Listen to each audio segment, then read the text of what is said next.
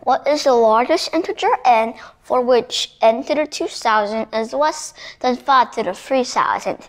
At first, we don't want to actually multiply 3000 fives and then have to test like 6, 7, 8 and then multiply 2000 of those. We certainly don't want to do that. So now, since they want comparing, they want what is the largest integer n which n to the 2000 is less than 3000, 5 to the 3000. I just repeated that problem. Since they want us to compare them, that so that n to the 2000 is less than 5 to the 3000, and n has to be the greatest integer as possible. So, since we want to compare, we have to use something, a strategy that we taught you a little while back, is that if you if you want to compare two exponents and make it easy to like see how they're different, see how they're similar, alike, and how and how to compare them very easily, you're gonna have to do two things. You have to get the bases the same, and otherwise you might say n has to equal 5, the bases are the same, or the exponents are the same. And I don't know how to say that because 2000 is not equal to 3000. So we can just say we have to get the exponents the same. But since we don't know about this n, since that's what we're trying to find, we have to do something with the exponents. But, well, 3000 is not divisible by 2000, so we're gonna have to, we're gonna have to multiply 2000 by something as a fraction to get 3000. And what I'm saying here is, if 2000 is if the south if 2000 is divisible, I mean, if 3000 is divisible by 2000, then we can just take out a factor of 2000 and then that'll be a little easier to compare. But we can't do that now, so now we gotta use something else the GCF, the greatest common factor.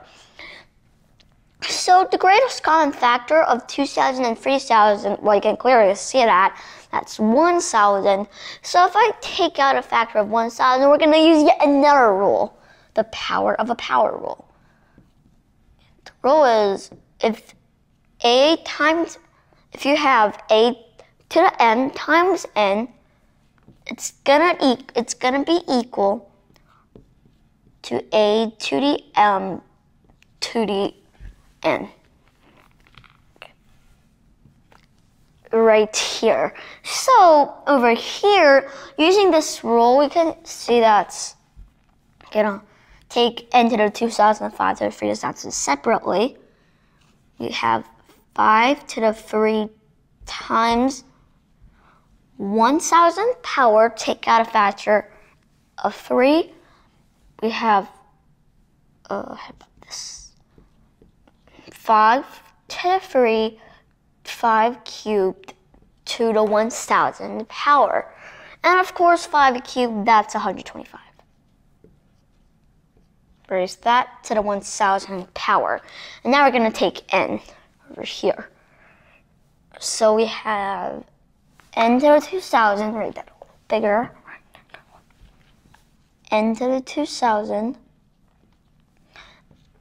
And again, we're gonna we want to take out the same factor because we don't want it. to like the exponent here is like 500, but the exponent here is 1,000. That'd be uh, even messier.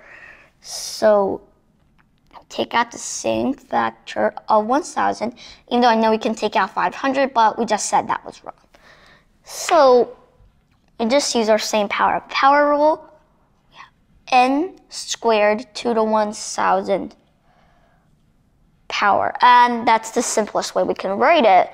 So now, since you're asking for the n, all we have to compare is we, we want to find the largest integer n so that n squared is less than 125, the largest integer n. And then we just test 10, 11, and 12. 10 squared is 100, 11 squared is 121, 12 squared is 144, but that's larger than 125, so 11. So we have 11 squared, that's the largest integer, and so that it's less than 125.